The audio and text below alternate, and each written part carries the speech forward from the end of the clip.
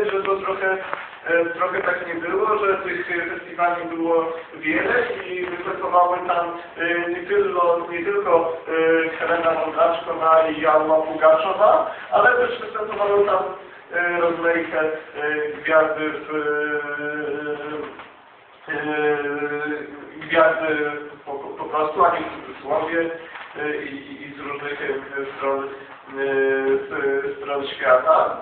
Mm, Także jeżeli chodzi o, e, o takie zespoły bardziej e, niszowe czy under- undergroundowe, to, e, to, to, to, to Jelacin nie był ani jedynym miejscem, ani nie był tak naprawdę miejscem jakoś szczególnie wyróżniony. Jeżeli mówimy sobie o, tutaj o centralizacji lokalności i o mm, takim ruchu wahadłowym między jednym a drugim, o, tak, takiej e, e, to,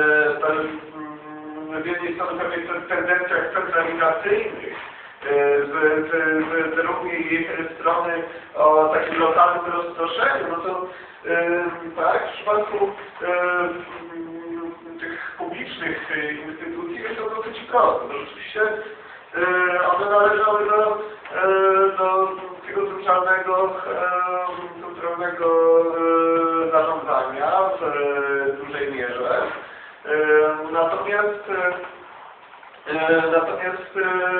tak, jeżeli e, mówimy o e, takiej muzyce e, punkowej czy, czy, czy alternatywnej, undergroundowej, e, to tutaj e, ta sprawa ma się trochę inaczej, bo tutaj e, te tendencje wynikają z pewnych e, spontanicznych e, czy, e, czy, czy z pewnych takich e, e, niekontrolowanych tendencji społecznych, tak? To znaczy e, to są kwestie e, po prostu rozłożenia pewnych e, zasobów e, w- społeczeństwie, no i oczywiście w zależności od statusu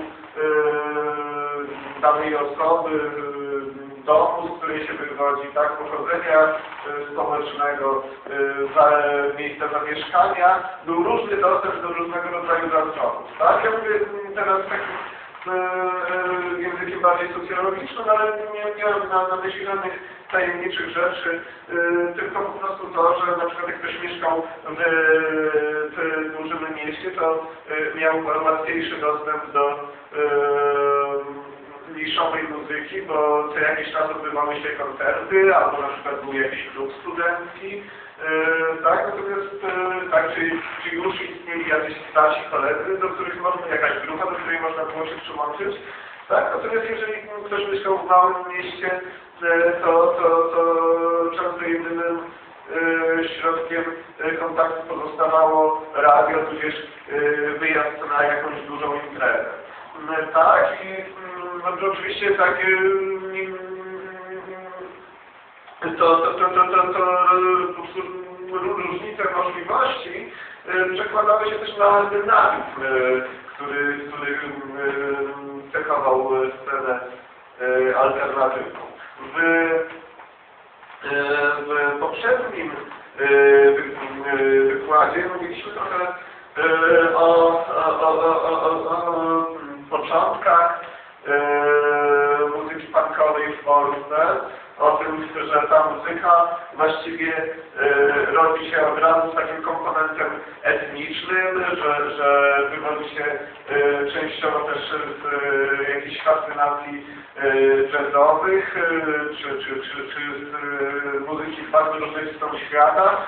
Ci, ci, ci pierwsi muzycy grający punk w Polsce często byli ludźmi świetnie obeznanymi y, z muzyką, ze sztuką, podchodzili do tego trochę na zasadzie performance'u i nie przypadkiem jest, y, że y, za taki tak pierwszy występ y, punkowy y, uznaje się często koncert zagranicznej kapeli The na, na, na, na festiwalu IM w Lewancie.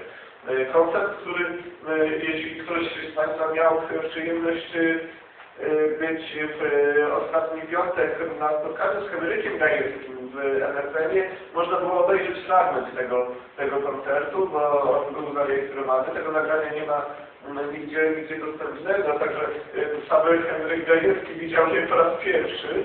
Y, prawdopodobnie po prostu nagranie nigdy wcześniej nie było y, upubliczniane. Tu, tutaj zostało, zostało pokazane ten koncert ręką, co mnie tak uderzyło to, że ta, ta, też ta publiczność w zasadzie jeszcze nie wie, jak reaguje się na tego typu muzykę e, i jest e, takie zafascynowanie tą energetycznością, jakoś tak poruszeni, ale jednak większość siedzi już na krzesłach, skoro się tam